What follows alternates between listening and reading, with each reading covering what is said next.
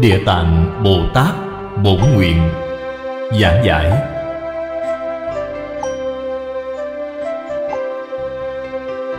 Chủ giảng, Lão Pháp Sư Tịnh Không. Giảng tại Tịnh Tông Học hội Singapore. Thời gian, tháng 5 năm 1998 Tập 64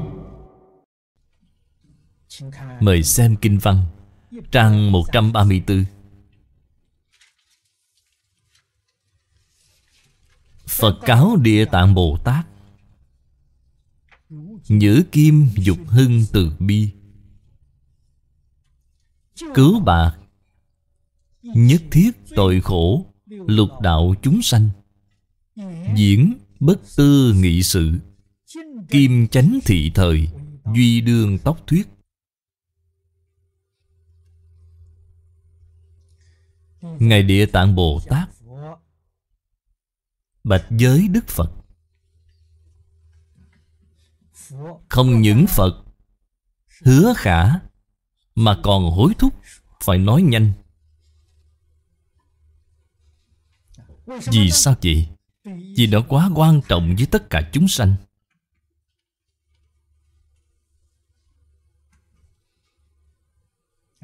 Mấy câu nói phía trước này là khen ngợi. Nhữ kim dục hưng từ bi. Hưng là phát khởi. Ông phát khởi tâm từ bi.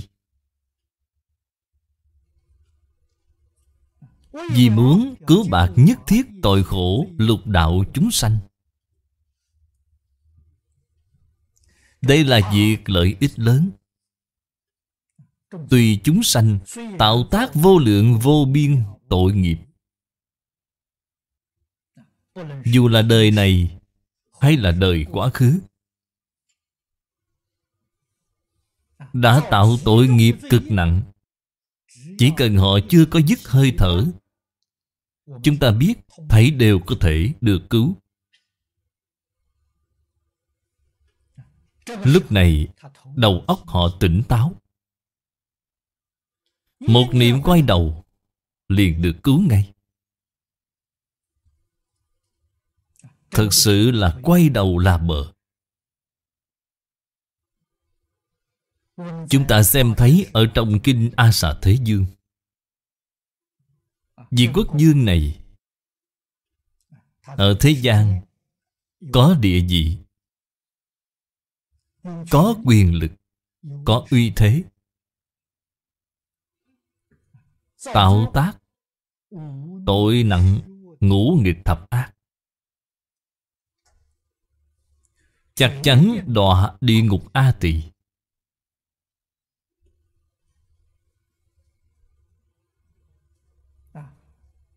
Dẫu sao người này Vẫn là có thiện căn.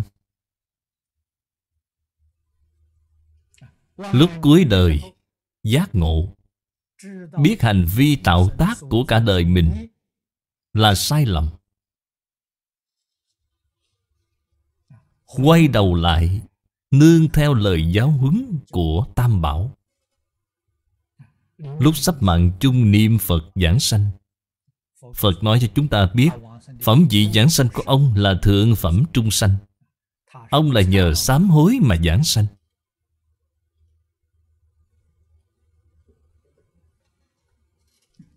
Nhìn từ sự việc điển hình này, Dù tạo tội nghiệp cực nặng cũng không sợ, Đều có thể được cứu.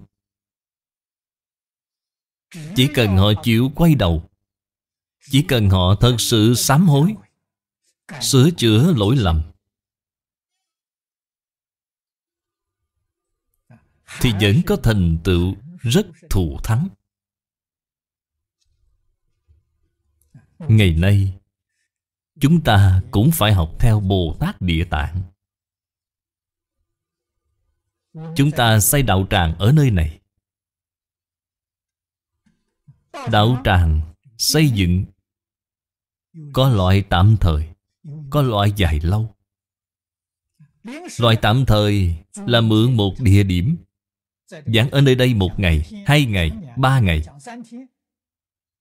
Địa điểm giảng kinh chính là đạo tràng. Đây là đạo tràng tạm thời. Bất luận là tạm thời hay là dài lâu, Tâm bạn phát ra ở nơi đó Là tâm từ bi chân thật. Chân thành thanh tịnh từ bi. Giảng kinh thuyết Pháp, Khuyên bảo tất cả chúng sanh, Quay đầu là bờ. Đều là công đức không thể nghĩ bàn. Người nghe rất nhiều. Đương nhiên, Chúng ta không thể đoán trước Người nào cũng có thể thành tựu, Người nào cũng có thể quay đầu. Đây là việc không thể làm nổi. Ở trong thính chúng, Chắc chắn có vài người có duyên.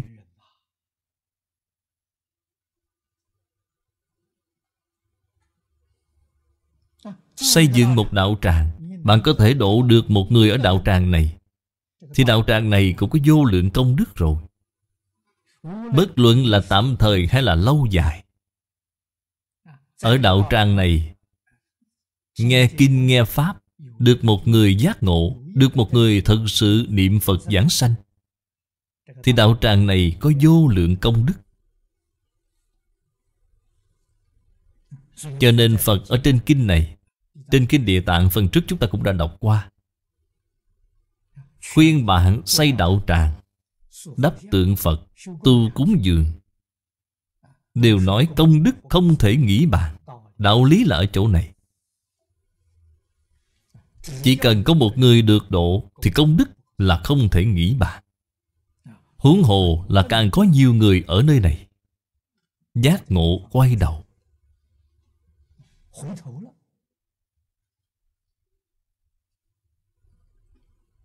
Đây là đích thực, Cứu vớt tất cả chúng sanh tội khổ. Những chúng sanh tạo tác tội nghiệp này, Tương lai Chắc chắn đọa ác đạo. Khổ là ác đạo. Tội là tạo tác hiện tại, Tội là nhân khổ là quả.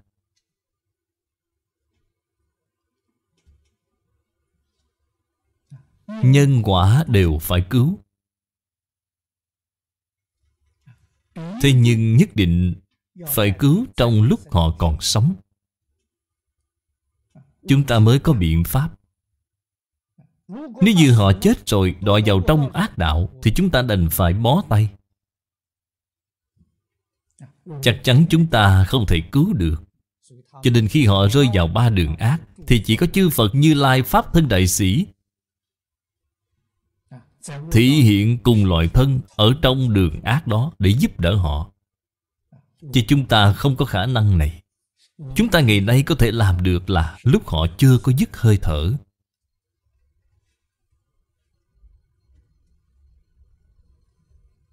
Đây là việc lớn.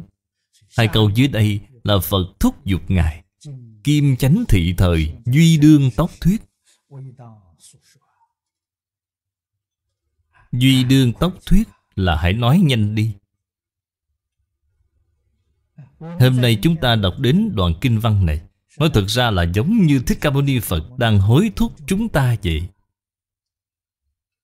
Chúng ta phải nhanh chóng làm việc này. Hiện nay đúng là lúc. Cho nên hai câu nói này Dùng cho chúng ta hiện nay là vô cùng xác đáng.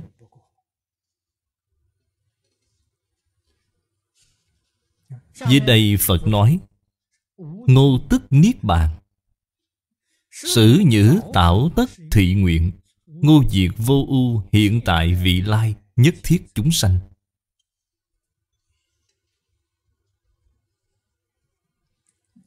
Câu kinh văn này, Chúng ta đọc xong.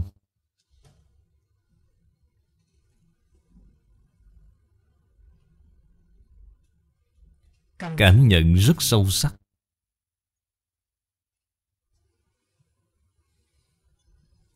Chúng ta học Phật.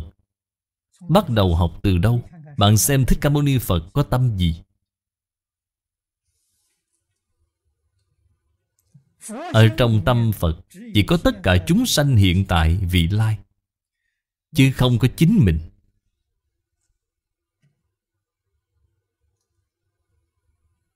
Đây chính là tâm Phật. Trong mỗi niệm của Phật Là phục vụ cho chúng sanh. Là cứu vớt tất cả chúng sanh tội khổ.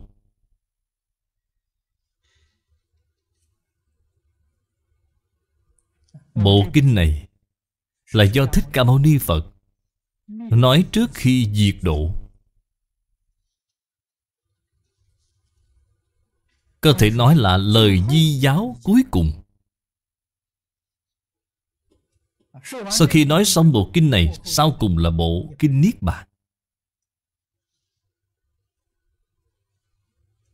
Cho nên đây là một bộ kinh trước kinh Niết Bàn, Được xem là di giáo cuối cùng. Ngô tức Niết Bàn. Niết Bàn là dịch âm theo tiếng Phạn. Thông thường, Dịch là diệt độ. Trong tứ đế là khổ tập diệt đạo. Diệt chính là Niết Bàn. Ở Trung Quốc, Dùng nhiều nhất là dịch thành viên tịch.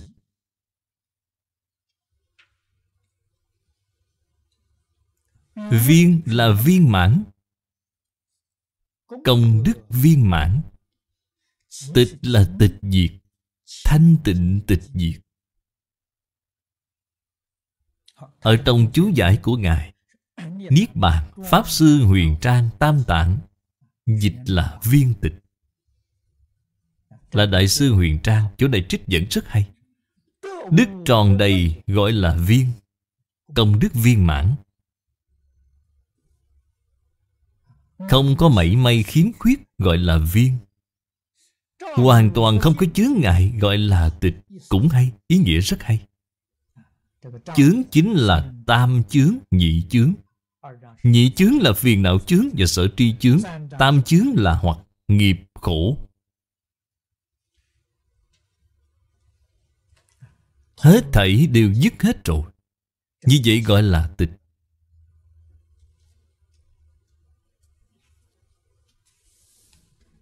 Từ đó cho thấy, Niết bàn viên tịch Không phải là danh từ đại biểu cho sự chết. Hiện nay mọi người đều xem nó là danh từ đại biểu cho sự chết. Khi người xuất gia chết, Người ta thường nói, Người nào đó viên tịch rồi. Người nào đó nhập Niết Bàn rồi. Vậy thì tương lai có người nào không nhập Niết Bàn đâu chứ? Người nào cũng nhập Niết Bàn, Bất luận có học Phật hay không học Phật, Thấy đều nhập Niết Bàn. Quan niệm này là sai lầm rồi. Nói thật ra, Niết Bàn là chứng được ngay lúc đang còn sống.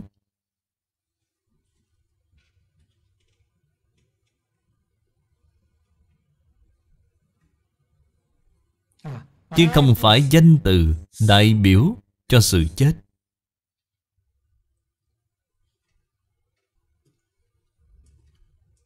Chỗ này nói, Ngô tức Niết Bàn, Ta dù có vào Niết Bàn, Là Phật Ở trong khoảng thời gian này. Chuyên giáo hóa chúng sanh của Ngài Đã hết rồi. Công đức viên mãn rồi.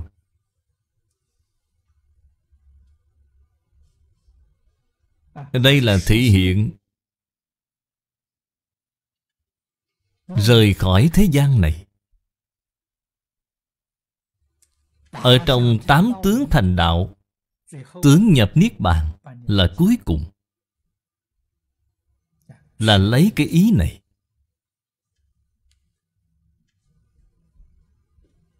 Duyên hết rồi, Thì Phật sẽ không trụ thế nữa. Vì trụ thế không còn ý nghĩa rồi. Người có duyên với Ngài Cần được độ, Đều đã được độ rồi. Người chưa có được độ Mà đã gieo hạt giống Phật Pháp với Ngài. Thế nhưng hạt giống này hiện nay Chưa thể chín mùi. Nên đương nhiên Ngài phải rời đi.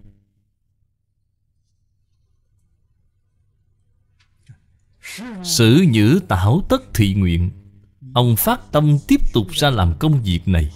Tốt. Cho nên Phật không còn trụ thế.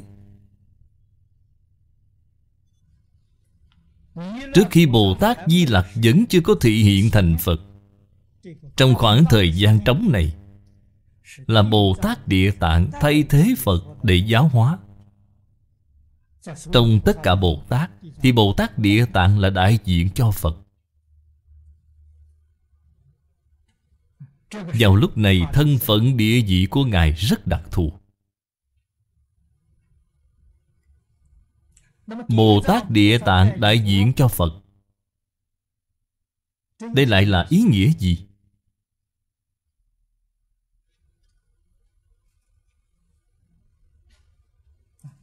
Giả lại trên kinh này nói, Hiếu dưỡng cha mẹ Tôn kính sư trưởng. Cương lĩnh của nền giáo dục hiếu dưỡng cha mẹ. Tôn kính sư trưởng Là thay thế Cho sự giáo hóa của Phật Đà Ở trong khoảng thời gian này. Bởi vì nền giáo dục Giáo hóa của tất cả chư Phật Như Lai Đều là dựa vào hiếu dưỡng cha mẹ, Tôn kính sư trưởng Làm nền tảng. Phật không còn ở đời nữa, Chúng ta cần phải làm. Cái công việc này Là gìn giữ nền tảng dạy học.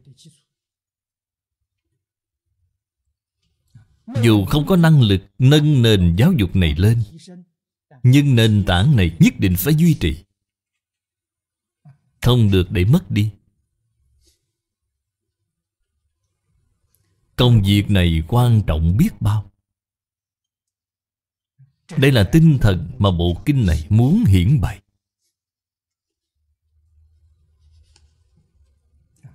Tin sâu nhân quả. Đoạn ác tu thiện, Hiếu dưỡng cha mẹ, Tôn kính sư trưởng. Đây là những gì trong Kinh Địa Tạng nói. Nếu như dựa theo giáo nghĩa của tịnh Tông, Nền tảng tu học của tịnh Tông là Tịnh nghiệp tam phước mà Thế Tôn nói trong Quán Kinh. Trước khi chưa có tu pháp môn niệm Phật, Thì trước tiên phải đặt cái nền tảng này. Tịnh Tông là được xây dựng trên cái nền tảng này. Điều đầu tiên của nền tảng này là Hiếu dưỡng cha mẹ, Phụng sự thầy tổ, Từ tâm không giết hại, Tu thập thiện nghiệp. Các vị thử nghĩ xem, Bốn câu nói này có phải là Kinh Địa Tạng Bồ Tát bổ nguyện hay không? Là không sai.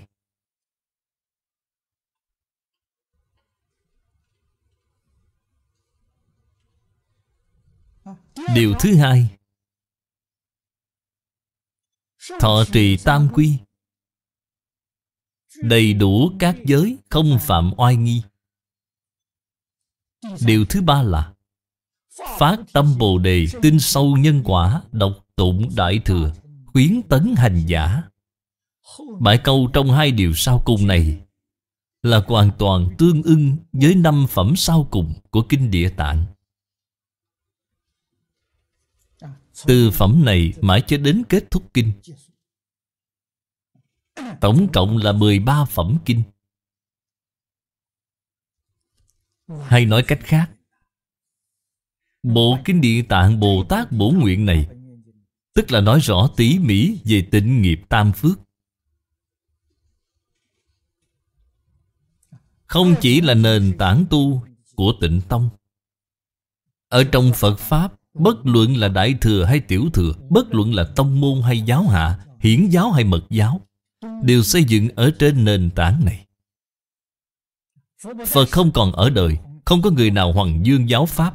Chúng ta có thể giữ gìn được nền tảng này là được rồi. Duy trì nền tảng này là có thể cứu vớt tất cả chúng sanh tội khổ trong lục đạo. Cho nên thời kỳ mạt Pháp kiên định Giữ vững nền tảng này. Khuyên người ta thật thà niệm Phật cầu sanh tịnh độ Là sẽ thành công.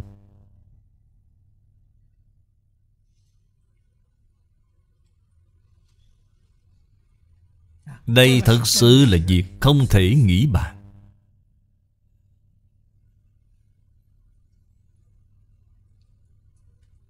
Chúng ta muốn hoàng dương những kinh luận khác Mà mình chưa có khai ngộ Chưa có kiến tánh Sợ giảng sai. Rất khó đạt được sự thọ dụng chân thật. Chỉ có giữ vững cơ sở này Thật thà niệm Phật Thì chắc chắn không sai. Cho dù chư Phật Như Lai Thể hiện vào lúc này, Thì việc giáo hóa chúng sanh Cũng nhất định là như vậy.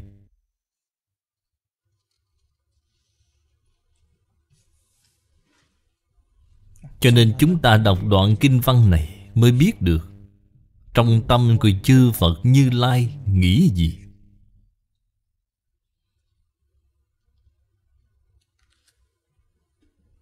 Việc mà các ngài làm là gì? Chúng ta cần phải học tập ở chỗ này.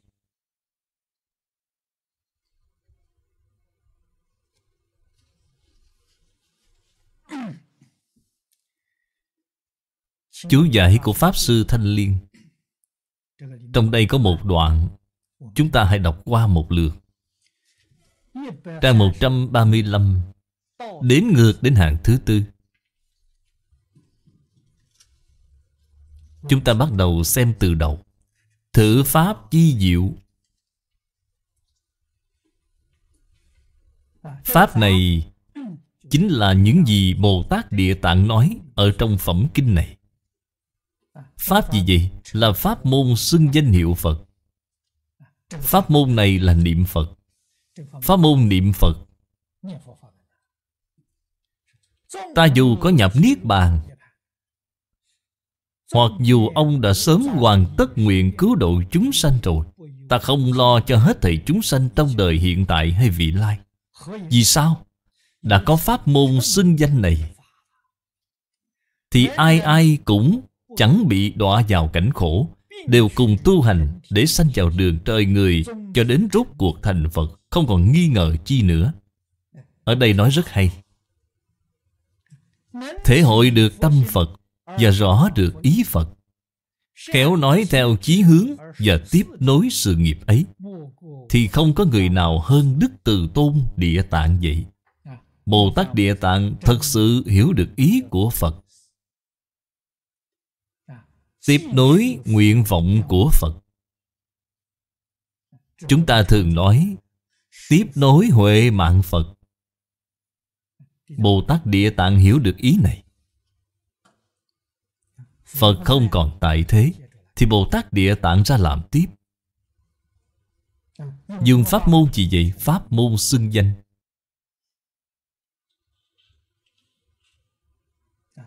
Cho nên Thế Tôn khen ngợi Ngài. Thúc giục, Ngài hãy nói nhanh. Dưới đây là lời Bồ Tát Địa Tạng nói. Ý nghĩa của lời nói rất sâu.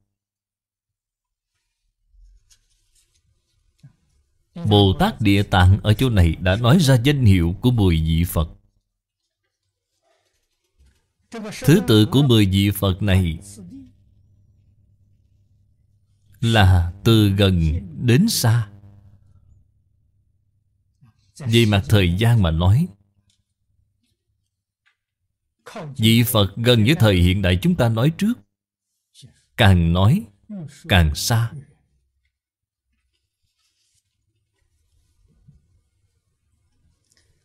Mời xem kinh văn.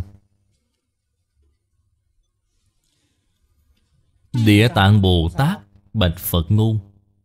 Thế Tôn, Quá khứ vô lượng A Tăng kỳ kiếp. Tuy là gần, Cũng không phải gần. Đây là vị gần nhất Cũng không phải gần. Hữu Phật xuất thế, Hiệu vô biên thân như lai. Đây là nói ra danh hiệu của Phật. Nhược hữu nam tử nữ nhân, Văn thị Phật danh. Tạm sanh cung kính. Tức đắc siêu việt Tứ thập kiếp sanh tử trọng tội. Hà hướng Tố họa hình tượng Cúng dường tán thán, Kỳ nhân hoạch phước Vô lượng vô biên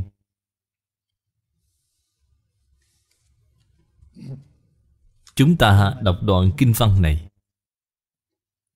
Nghe cách nói như vậy, Có thể tin được không?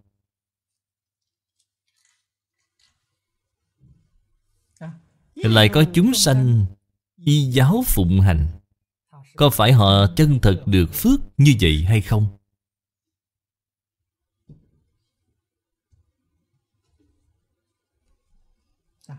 Rất khiến cho người ta nghi ngờ.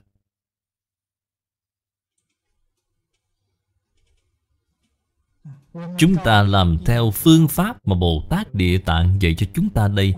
Sợ không được quả báo như vậy?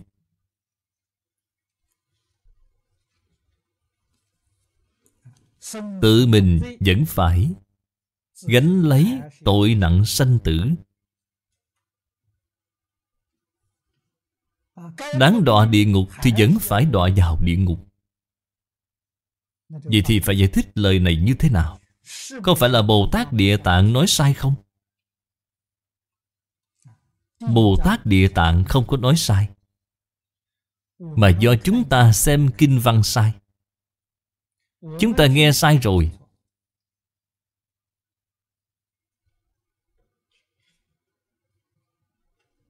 Bồ Tát Địa Tạng ở chỗ này nói, Văn thị Phật danh Tạm sanh cung kính. Ý nghĩa của hai câu nói này, Chúng ta chưa có hiểu rõ ràng.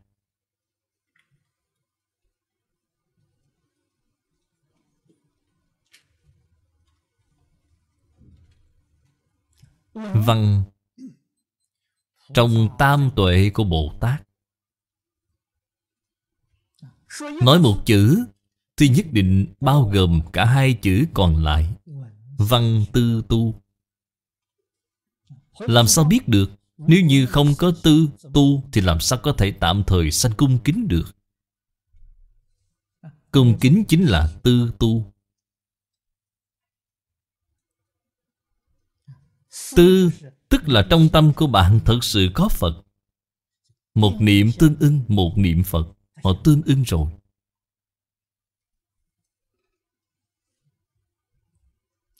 Cung kính không phải là đắp tượng Phật ở đó, Rồi lễ bái cúng dường Ngài.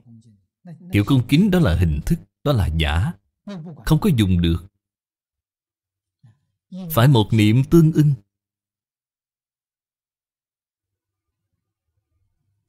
Niệm tương ưng rồi, Thì hạnh đương nhiên sẽ tương ưng.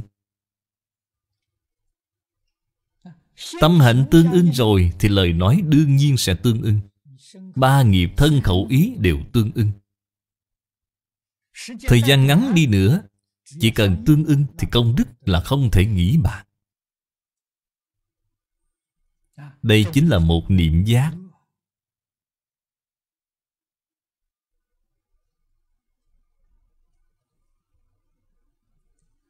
Cho nên mới được lợi ích thù thắng như vậy.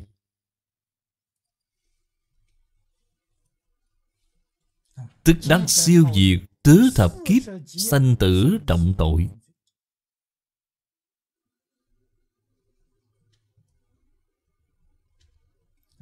Phật hiệu là vô biên thân như lai.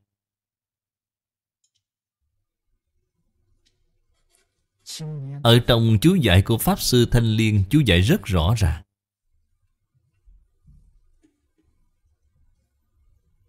Bạn cần phải hiểu rõ.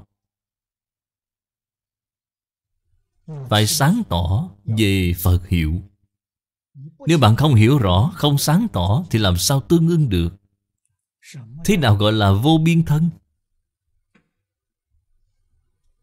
Ở trong tiểu chú nói Ba thân đều có ý như vậy. Ba thân là pháp thân Báo thân, ứng hóa thân.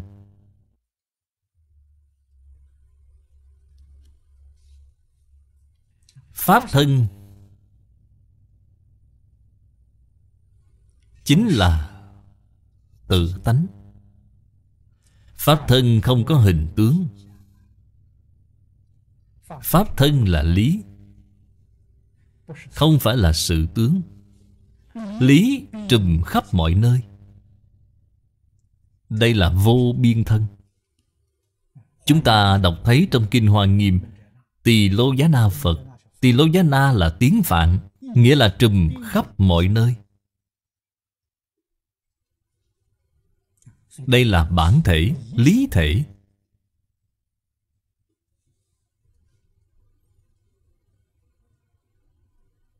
Ở trong Hoa Nghiêm Cũng gọi là nhất chân Pháp giới. Nhất chân Pháp giới chính là Pháp thân.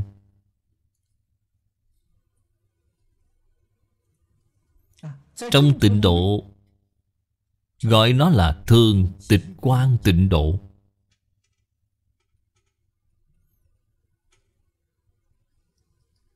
Thường tịch quan không có hình tướng. Trong bốn cõi của thế giới Tây Phương cực lạc, Thì thường tịch quan là không có hình tướng. Thực báo độ chính là báo thân. Phương tiện độ, Đồng cư độ là ứng hóa thân.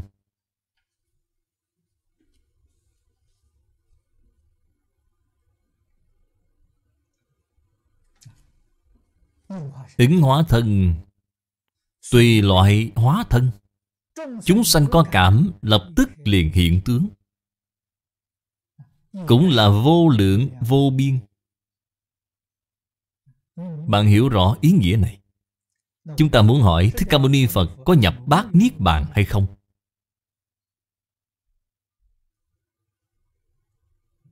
Không có. Không những trên lý không có, Mà trên sự cũng không có. Đây là thật.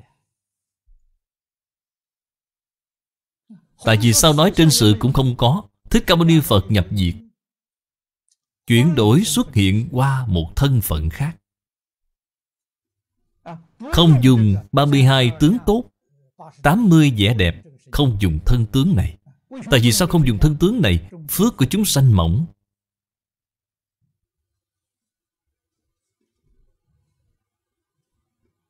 Cho nên Phật liền hiện thân tướng khác.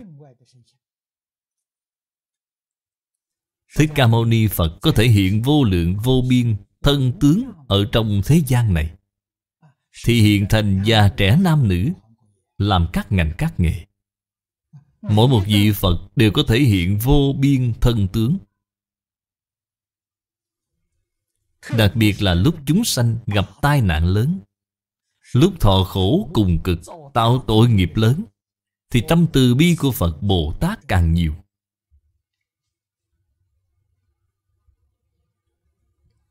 Chúng ta phải nhận thức, Phải hiểu rõ.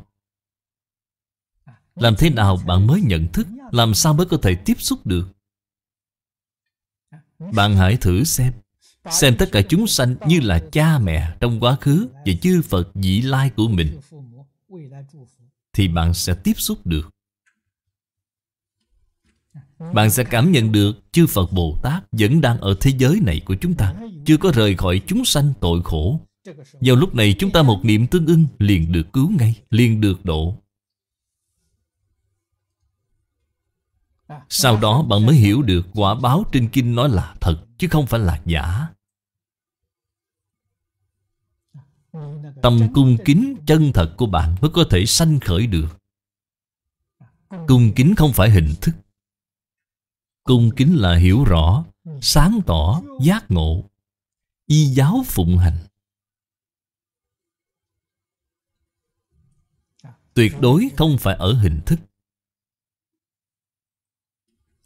Trên hình thức là biểu diễn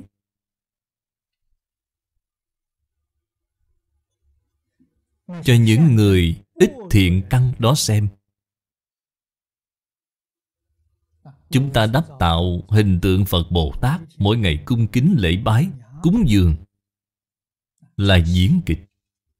Để cho những người chưa có học phật, chưa có tiếp xúc phật giáo đó xem. Họ xem xong thấy rất kỳ lạ, Sẽ hỏi vì sao anh lại làm những động tác, Những biểu hiện này trước tượng này. Họ có nghi hoặc, Họ đến hỏi bạn. Bạn hãy nói, giải thích cho họ biết. Công đức là ở chỗ này.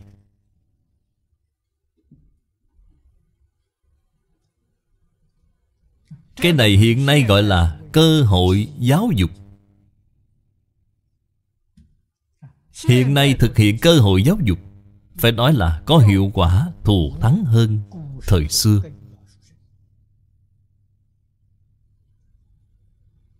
Thời xưa người đến đạo tràng, Nhất định là đến để cầu Pháp. Đúng như câu nói, Không có chuyện thì không vào điện Tam Bảo. Nhất là đạo tràng, nhà Phật, Đều xây dựng ở trên núi sâu, Nơi ít có dấu chân người đến. Khi bạn đi, giao thông không thuận tiện, Vô cùng khó khăn.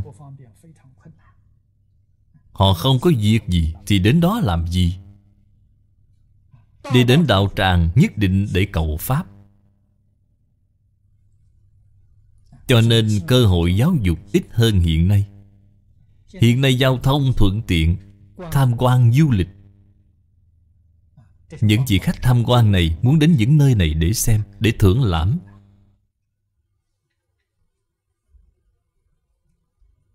Những người xuất gia Trong đạo tràng của chúng ta, Mỗi ngày làm công tác Cơ hội giáo dục.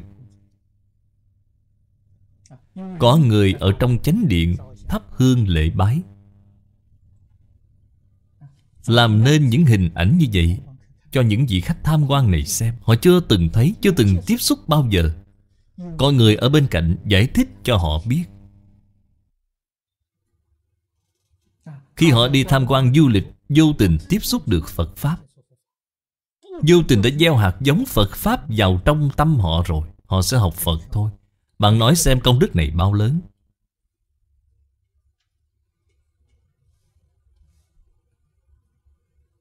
Cho nên những đạo tràng này là cơ hội giáo dục, Tiếp dẫn chúng sanh rộng lớn. Đích thực là đang làm công việc cứu độ tất cả chúng sanh tội khổ Ta đang làm sự nghiệp này. Cần phải có tấm lòng này của Phật. Có tình cảm này của Phật. Niệm niệm là luôn nghĩ đến tất cả chúng sanh tội khổ. Tuyệt đối không phải vì chính mình. Khách tham quan đem lại thu nhập cho chúng ta.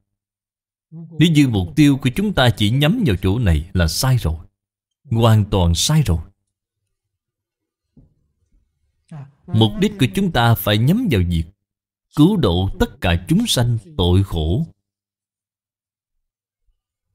Làm cho họ nhận thức được Phật Pháp, Hiểu được Phật Pháp, Làm thay đổi nhân sinh quan Và vũ trụ quan của họ. Vậy thì là cứu độ họ rồi.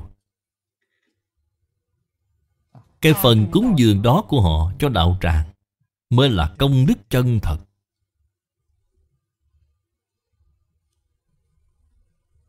Đây là nói, Tạm thời sanh tâm cung kính. Tức là tạm thời có một niệm tương ưng. Niệm này thật sự tương ưng rồi, Thì có thể liền được siêu diệt tội nặng sanh tử trong 40 kiếp. Hà huống tố họa hình tượng. Cúng dường tán thán. Đây là đã nhập môn đã nhập cảnh giới. Họ mới chịu làm như vậy. Tạo tượng phật. Hiện nay tạo tượng phật dễ dàng. Thuận tiện hơn trước đây quá nhiều. Trước đây tượng phật người hiện nay đó là đồ thủ công mỹ nghệ. Hiện nay tạo tượng phật có thể đúc một cái khuôn là có thể làm mấy nghìn bức mấy vạn bức một cách nhanh chóng. Lợi dụng máy móc để làm. Trước đây mỗi một bức tượng phật đều phải do nhân công chạm khắc mới có. Cái gì ở trung quốc đại lục bạn xem những hang động ở vân cương ở đôn hoàng đều là mấy mươi năm mấy trăm năm mới hoàn thành Nếu hiện nay làm thì quá thuận tiện rồi.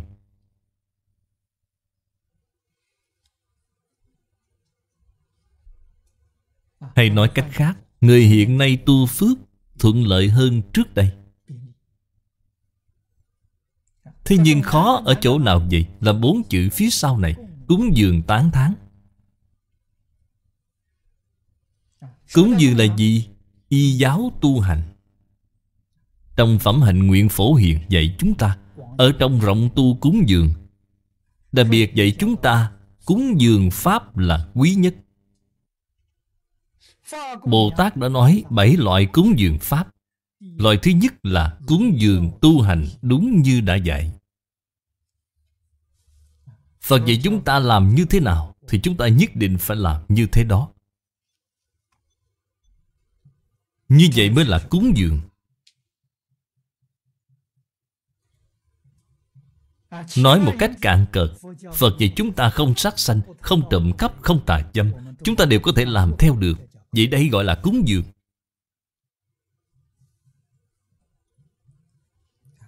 Tán thán tức là vì người diễn thuyết Đem Phật Pháp giới thiệu cho người khác Tiến cử cho người khác Gọi là tán thán.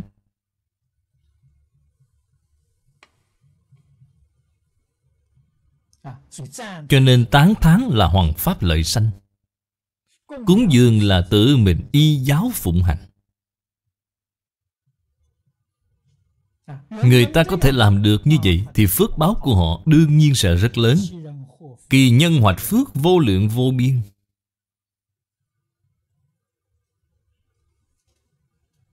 Cho nên sau khi bạn hiểu rõ rồi Đọc đến kinh văn này Thì chúng ta sẽ tin Sẽ không còn nghi ngờ Hầu hết mọi người đọc kinh Thường lơ là sơ ý. Chỉ làm theo hình thức, Chứ không có nội dung thực tế. Tâm cảnh đều không tương ưng. Thì làm sao họ có phước được chứ? Không có phước, Họ liền khinh chê, phỉ bán kinh. Nói lời Phật dạy trên kinh là giả. Tôi làm theo như vậy mà không được cảm ứng.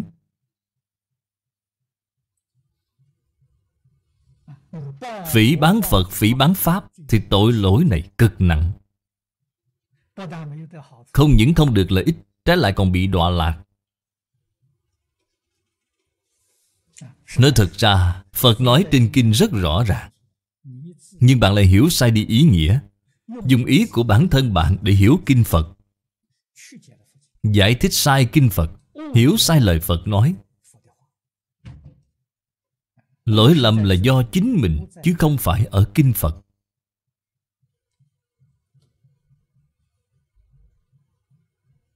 Cho nên, trên Kinh Kim Cang dạy chúng ta, Hiểu sâu nghĩa thú. Bốn chữ này quan trọng biết bao. Phải hiểu chính xác, Phải hiểu sâu. Bạn mới có thể được thọ dụng chân thật.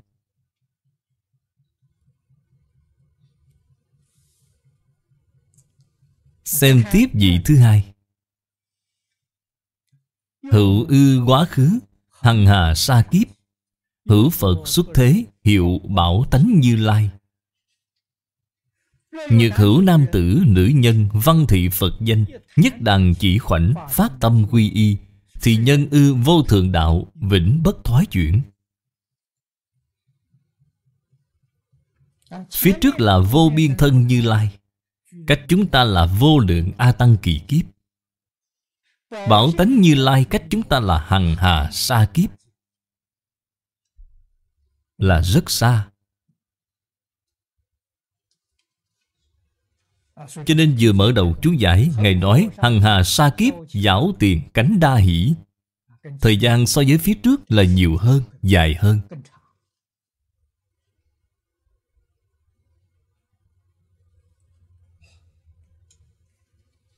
Bảo tánh như lai, Ở đây cũng có cách giải thích đơn giản. Kinh Liên Hoa Diện nói, Chư Phật Như Lai thì chúng sanh bảo, Dưới đây có bảy loại bảo.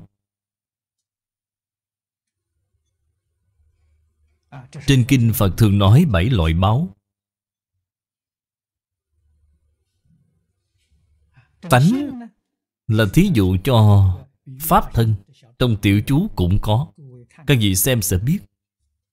Là dụ cho Pháp thân Thương lạc ngã tịnh. Đây là bốn đức. Thường lạc ngã tịnh gọi là tứ tịnh đức. Là vốn sẵn đầy đủ ở trong tự tánh.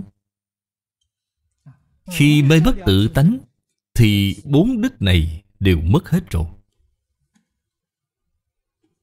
Đây là mê mất rồi. Nếu như bạn giác ngộ Bạn kiến tánh rồi. Kiến tánh tức là tư tưởng, kiến giải Hành vi của chúng ta tương ưng với tự tánh. Thì bốn đức này sẽ hiện tiền. Quả thật có thường. Thường là bất sanh bất diệt.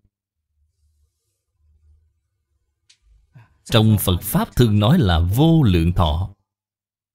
Ý nghĩa của vô lượng chính là thường. Vô lượng đó là thực sự vô lượng, chứ không phải là giả. Không phải là vô lượng so với hữu lượng, Nó là thực sự vô lượng. Tịnh là thanh tịnh vô nhiễm. Cả hai bên nhiễm tịnh đều không lập. Ngã là tự tại, Là chủ tể. Chủ tể cái gì? Chủ tể của vũ trụ. Chủ tể của Pháp giới. Chủ tể đích thực. Lạc là chân lạc. Hai bên khổ lạc đều không còn mới là chân lạc. Nghĩa là tuyệt đối, Nó không phải là tương đối. Bảo tánh như lai là ai vậy? Là chính mình. Là pháp thân thanh tịnh của chính mình.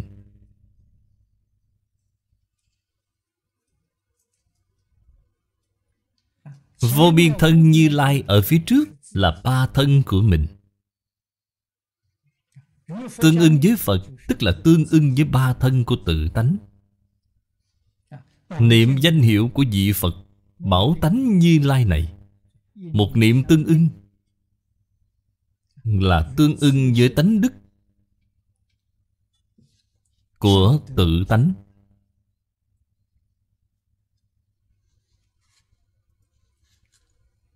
Dưới đây nói Nhược hữu nam tử nữ nhân, Văn thị Phật danh, Nhất đà chỉ khoảnh. Đây là nói thời gian rất ngắn ngủi. Chứng tỏ Công đức không thể nghĩ bàn. Phát tâm quy y.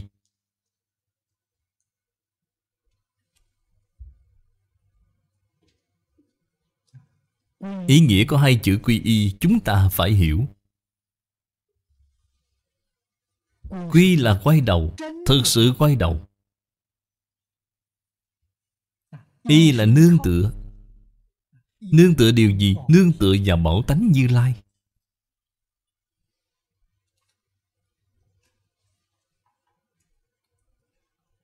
Tức là nương tựa vào tánh đức của tự tánh. Một niệm này tương ưng.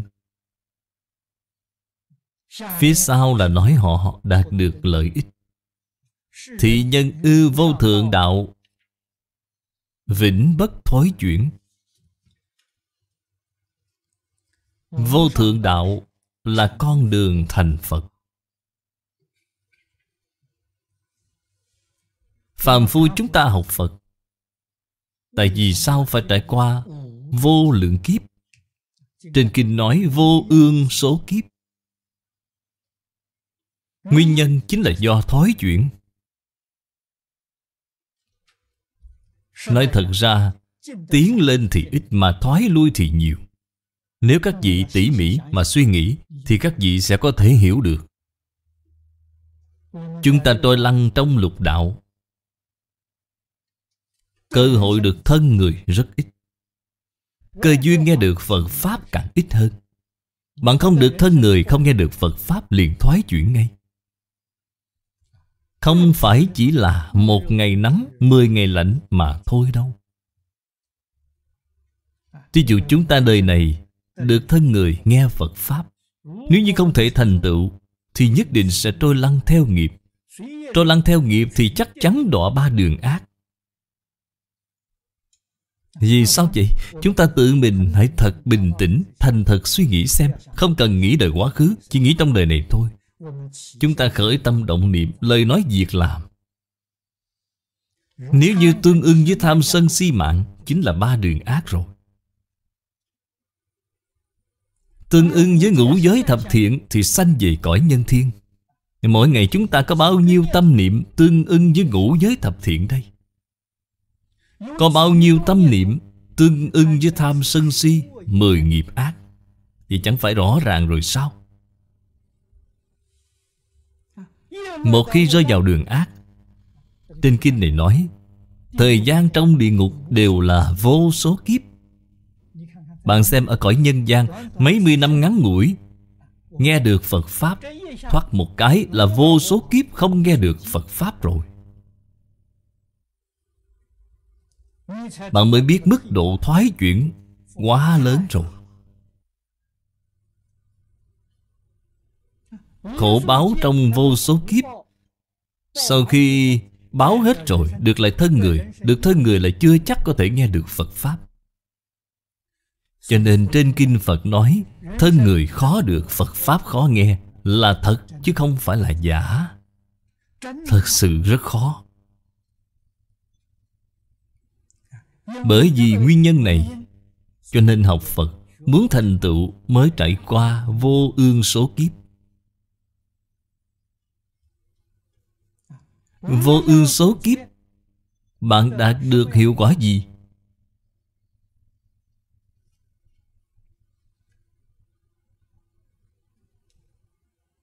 Thoát khỏi lục đạo, Thoát khỏi thập pháp giới, Chứng được quả vị sơ trụ Bồ Tát phải trải qua vô ương số kiếp.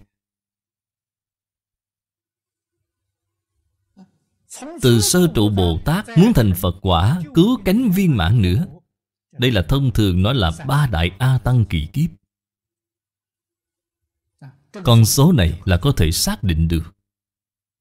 Còn con số phía trước là không cách gì xác định được.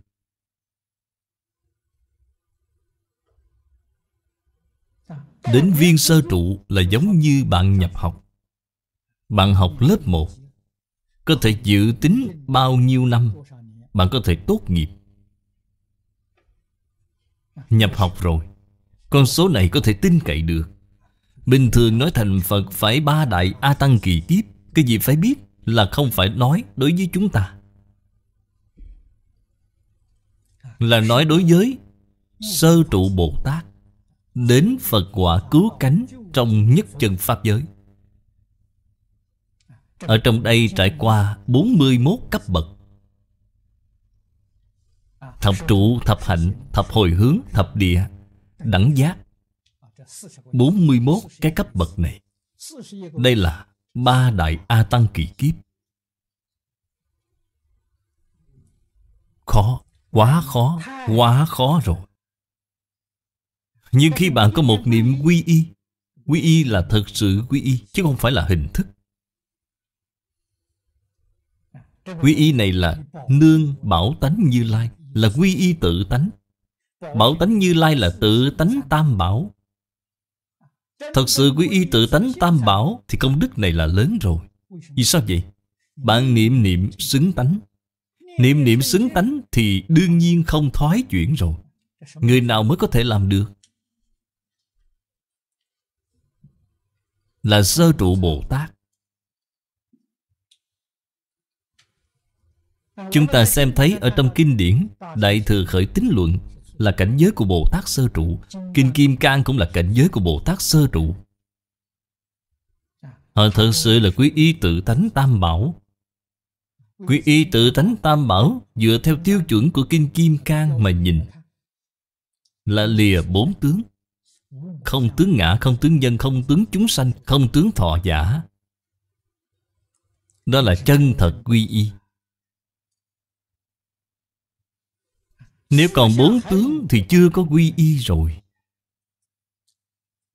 Bạn chưa có quay đầu Cũng chưa có nương tựa. Đây là điều chúng ta nhất định phải hiểu rõ Phải sáng tỏ. Hôm nay thời gian đã hết Chúng ta. Chỉ giảng đến đây, A-di-đà Phật. Cẩn dịch, Ban biên dịch, Tình không pháp ngữ. Địa chỉ email Vọng tay Cư Sĩ Amoc gmail.com Người đọc, Hạnh Quang. Nguyện đem công đức này Hồi hướng đến hương linh nhà giáo, Cụ Phan Thế Phả. Kính nguyện hương linh, Nương nhờ Phật lực. Tội diệt phước sanh, Tóc xả mê đồ, Tảo đăng Phật quốc. Nguyện cả thảy chúng sanh Đều tín niệm di đà, Đồng cầu sanh về nước cực lạc. Nguyện đem công đức này Trang nghiêm Phật tịnh độ. Trên đền bốn ơn nặng, Dưới cứu khổ ba đường, Nếu có ai thấy nghe, Đều phát tâm Bồ Đề. Hết một báo thân này, Đồng sanh về nước cực lạc. Nam Mô A Di Đà Phật.